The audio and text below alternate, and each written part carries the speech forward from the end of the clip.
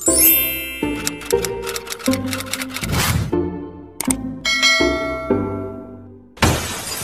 guys, welcome back to my channel. Once again, this is Pink the Baboy. So, I'm so bored today. Hindi ako makatulog. May shift pa ako later. Hindi ako makatulog. Nawala yung antok ko. Ang aga kasi natulog kanina, 6 a.m. 6 a.m. Tapos nagising ako mga 12. Tapos ano, YouTube, YouTube lang. Facebook, TikTok, ayun. Tapos di na ako makatulog ulit.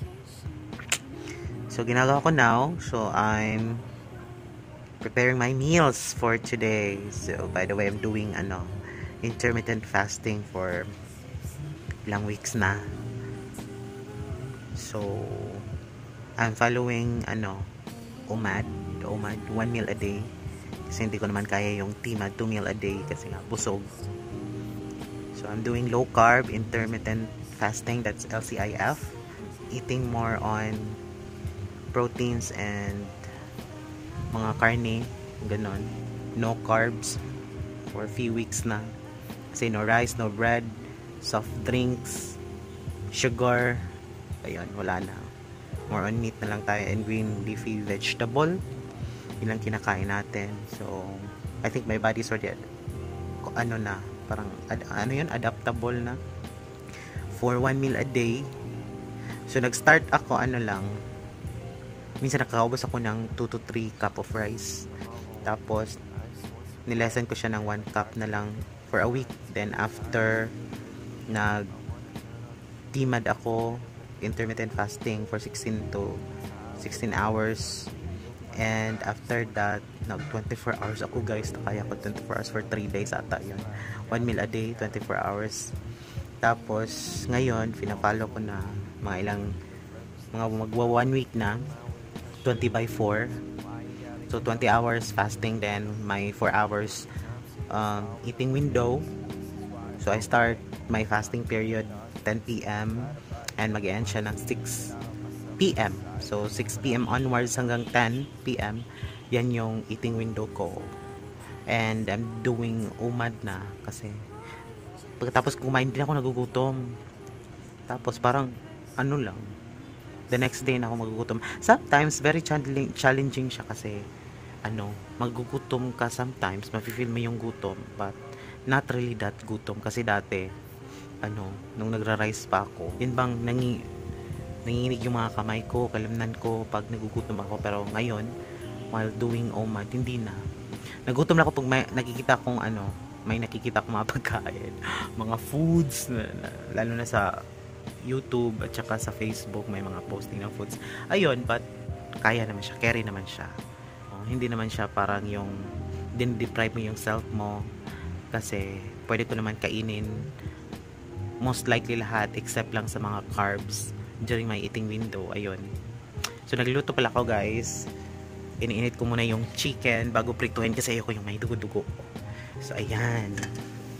Nilagay siya ng L'Oreal lalagyan ko siya ng laurel pinapakuluan ko lang muna siya bago ko siya prituhin tapos may ano pa ako pork soup last last day pa yan iniinit ko lang kasi gusto ko yung may soup na kinakain ko tapos lutuin ko ngayon is prito chicken yan chicken wings that's my favorite ayoko ng puros laman gusto ko yung may ano buto buto uh, chicken wings tapos magprito tayo ng ano ng talong with egg. So, meron pa naman akong egg dyan.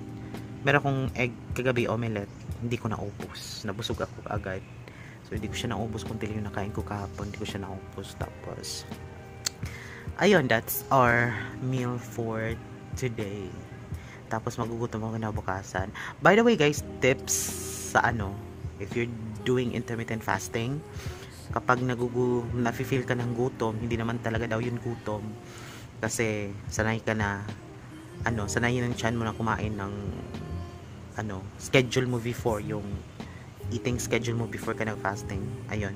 Para naka-schedule yung chan, pag naka-feel ka ng gutom, um, ang gamot lang dyan is pinch of salt and water.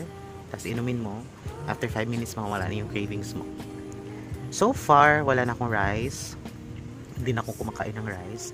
So far, ano, mahirap siya mahirap siya um, first week of doing it ang hirap kasi nasasanay na yung ano yung nasasanay na yung chan mo tsaka yung taste bud mo na ano kumakain ng rice kasi yung rice kasi parang neutralizer sa lahat ng ulam so ngayon parang okay naman siya so far. Hindi na ako nagka-crave ng rice tsaka mga bread wala na yun. Hindi, ko na nag, hindi na ako nagki-crave ng ganon.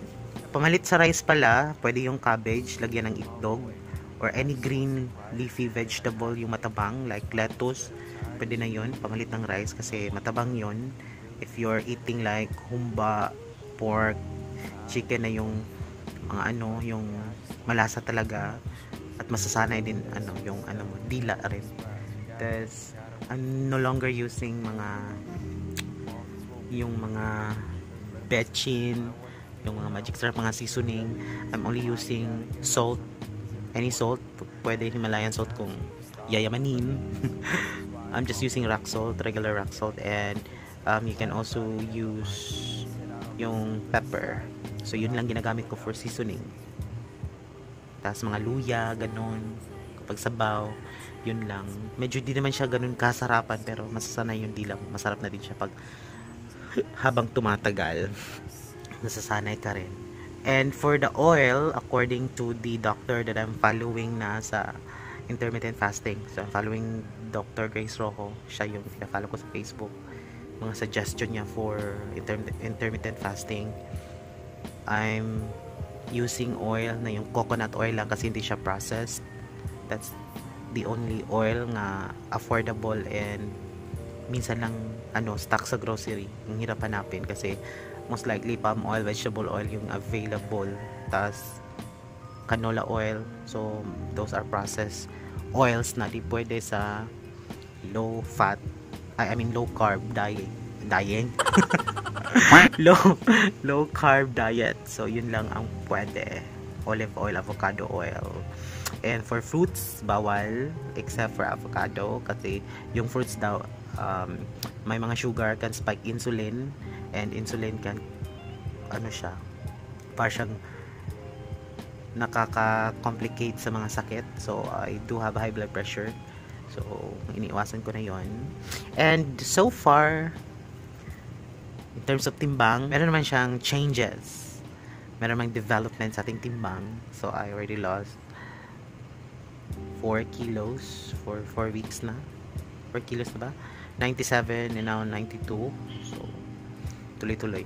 Uh, sabi ni Doc, you can see a lot of improvements after 2 months pa. So, laban lang. So, meron namang improvements. So, tinutunan ng ating taba, guys. So, that's why hindi ako naka-vlog for a long time because ang taba-taba ko na. So, kaya ayun, nawalan ako ng gana. And now, I'm going back to vlogs na. So, let's see.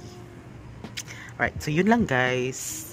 I'll show you my food later, okay? See ya! This is our food for today.